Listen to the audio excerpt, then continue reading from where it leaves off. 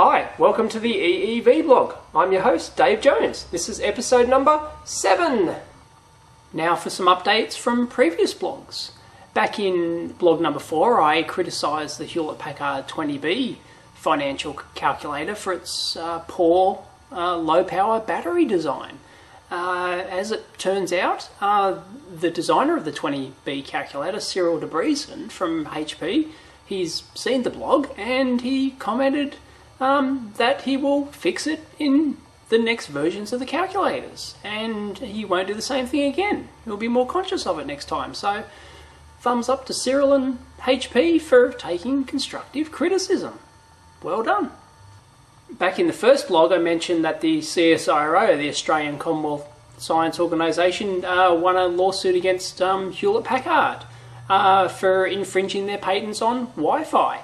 Um, as it turns out, uh, 13 odd other companies have um, also uh, settled with um, the CSIRO. They didn't want to go to court, they knew they'd lose, so they settled in huge names. We've got um, Dell, Microsoft, Intel, uh, Nintendo, Fujitsu, D-Link, uh, Netgear, 3Com, Belkin, all the major players. They've all settled um, out of court uh, for an undisclosed sum, but um, it's likely to be in the order of a billion dollars.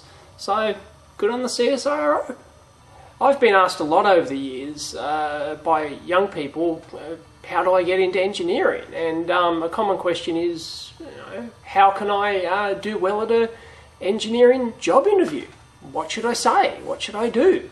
How should I turn up? And um, it's it's an excellent question, and certainly with the job market the way it is at the moment, with the financial crisis, um, it's it hasn't been the best it's been. So really, I'm going to hope and share some hopefully helpful tips. Okay, step number one. What do you wear to an engineering interview?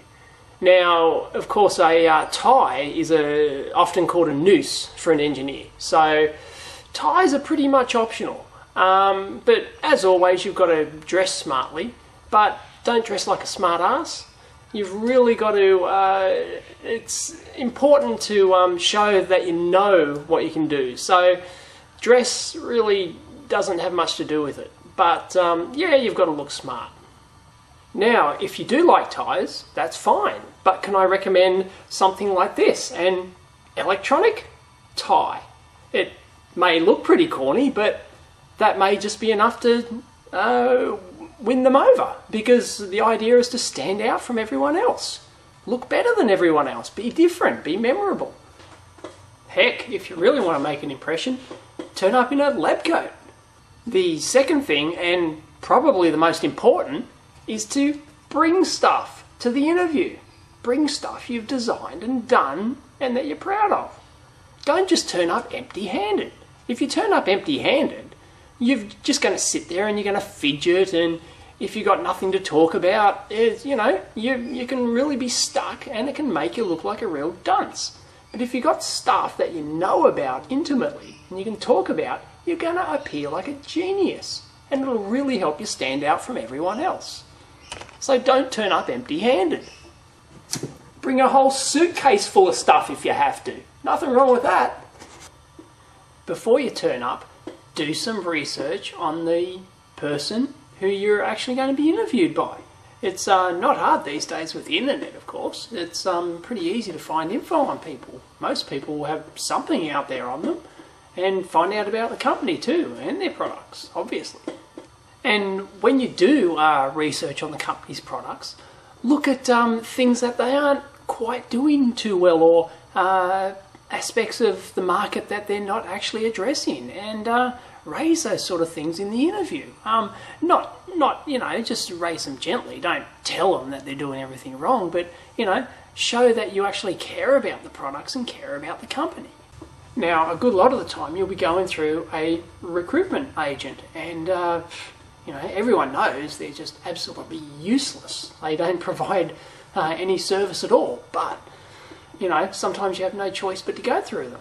So uh, use them as best you can because um, occasionally they can provide some little snippets of info on the company and what they're working on so that uh, you can actually study up on that sort of stuff before you go there. So if they say, um, if they mention that uh, the company's working on, say, switch mode power supplies or they need someone with switch mode experience, bingo, you've got it. Study up on that.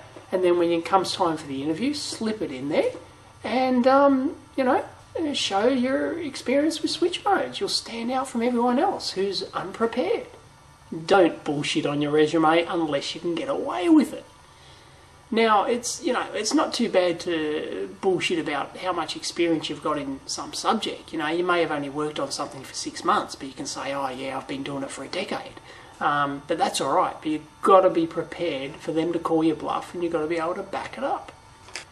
Now, it's fairly common in interviews. Uh, when you're sitting in the interview room, they'll have a bunch of the company's products there on the table, so that uh, you can see them and you know see what the company's all about. Now, I think one of the best things you can do is take that product and take it apart.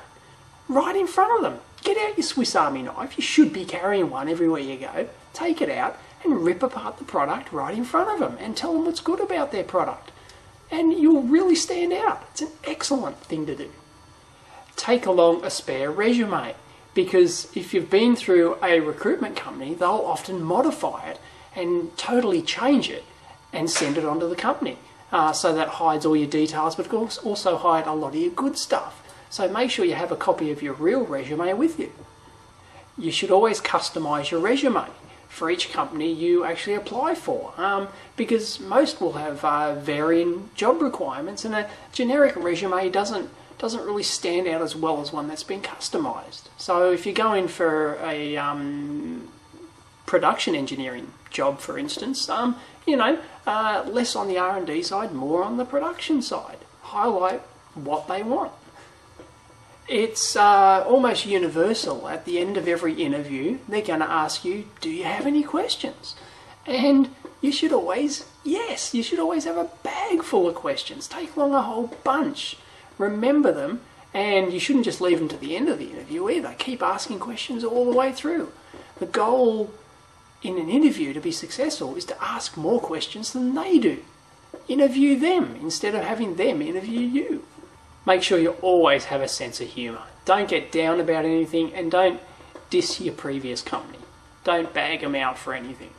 One of the things you'll quickly learn in the engineering business is that your academic results and your qualifications don't really mean squat.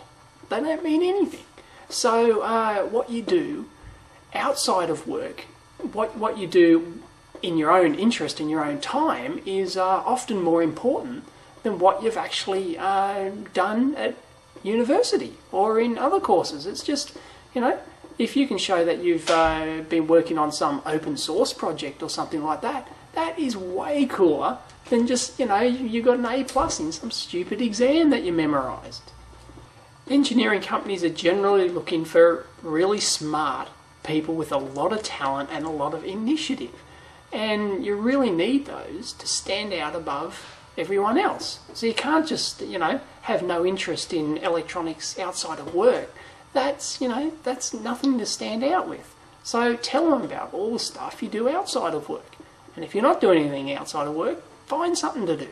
It impresses the heck out of people. Be prepared to be tested.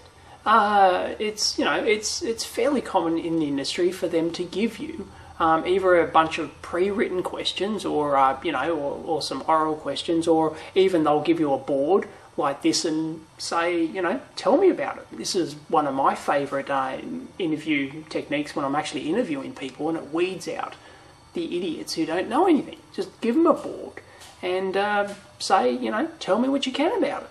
It's actually important uh, right at the top of your resume to have a summary section so that they don't have to read the rest of it. All, all your good meaty stuff is right up the top in the summary. Say, I've got, you know, five years experience, I'm good at this, I'm an expert in this, this, this and this.